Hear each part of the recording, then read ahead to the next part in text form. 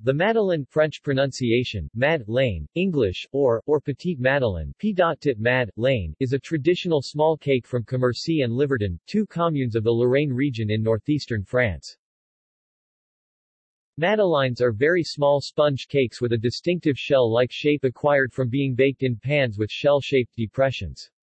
Aside from the traditional molded pan, commonly found in stores specializing in kitchen equipment and even hardware stores, no special tools are required to make madeleines.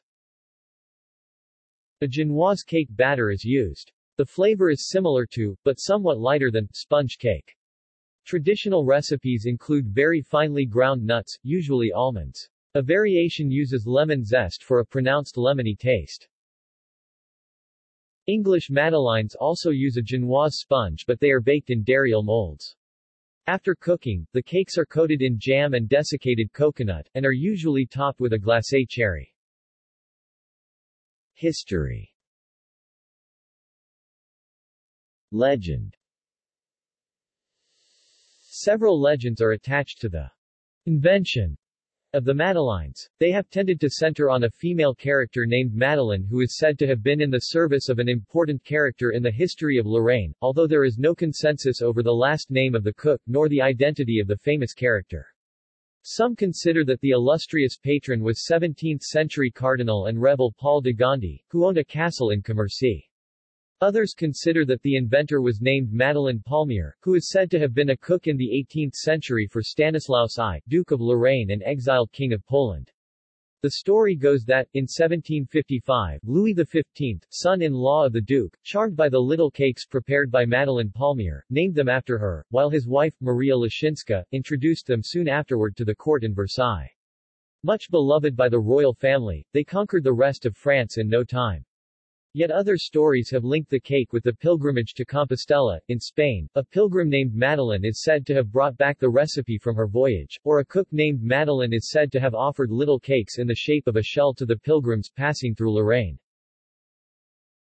Other stories do not give the cake a Lorraine origin and lay its invention at the feet of pastry chef Jean Avice, who worked in the kitchens of Prince Talleyrand. Avice is said to have invented the Madeleine in the 19th century by baking little cakes in aspic molds.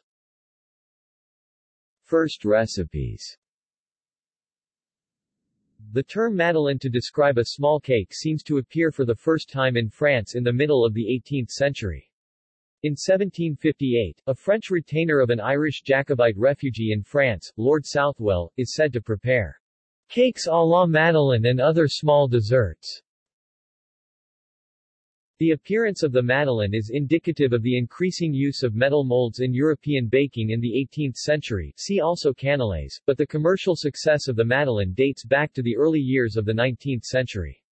Several mentions of the Madeleine are made by culinary writers during the Napoleonic era, in particular in the recipe books of Antonin Carême and by famous gastronomer Grimod de la Reynière. In Commercy, the production at a large scale of madeleines is said to have begun in the 1760s. In addition to being sold at the Commercy rail station, thus accelerating their spread through the country, is likely that the cakes were exported to Paris along with the marmalade from Bar-le-Duc and the croquantes from Reims. By the end of the 19th century, the madeleine is considered a staple of the diet of the French bourgeoisie. In the 20th century Madeleines were chosen to represent France in the Café Europe initiative of the Austrian presidency of the European Union, on Europe Day 2006. Literary reference in In Search of Lost Time, also known as Remembrance of Things Past, author Marcel Proust uses Madeleines to contrast involuntary memory with voluntary memory. The latter designates memories retrieved by intelligence that is, memories produced by putting conscious effort into remembering events, people, and places. Proust's narrator laments that such memories are inevitably partial, and do not bear the essence of the past. The most famous instance of involuntary memory by Proust is known as the episode of the Madeleine. Yet there are at least half a dozen other examples in In Search of Lost Time. No sooner had the warm liquid mixed with the crumbs touched my palate than a shudder ran through me and I stopped, intent upon the extraordinary thing that was happening to me. An exquisite pleasure had invaded my senses, something isolated, detached, with no suggestion of its origin. And at once the vicissitudes of life had become indifferent to me, its disasters innocuous, its brevity illusory, this new sensation having had on me the effect which love has of filling me with a precious essence, or rather this essence was not in me it was me. Whence did it come? What did it mean? How could I seize and apprehend it? And suddenly the memory revealed itself. The taste was that of the little piece of Madeleine which on Sunday mornings at Cambrai, because on those mornings I did not go out before Mass, when I went to say good morning to her in her bedroom, my Aunt Leonie used to give me, dipping it first in her own cup of tea or tisane. The sight of the little Madeleine had recalled nothing to my mind before I tasted it. And all from my cup of tea. References